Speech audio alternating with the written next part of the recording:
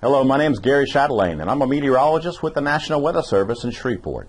Continuing Severe Weather Awareness Week for the state of Louisiana, today's topic is lightning safety. It's when the frequency of thunderstorms and outdoor activity peak. By definition, all thunderstorms produce lightning. During a thunderstorm, each flash of cloud to ground lightning is a potential killer.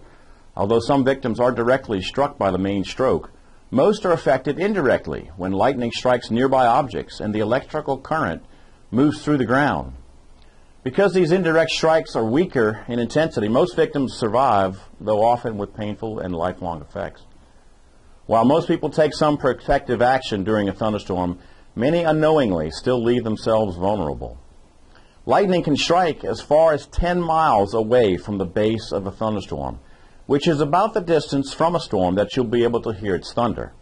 If you can hear thunder, then you're close enough to be struck by lightning.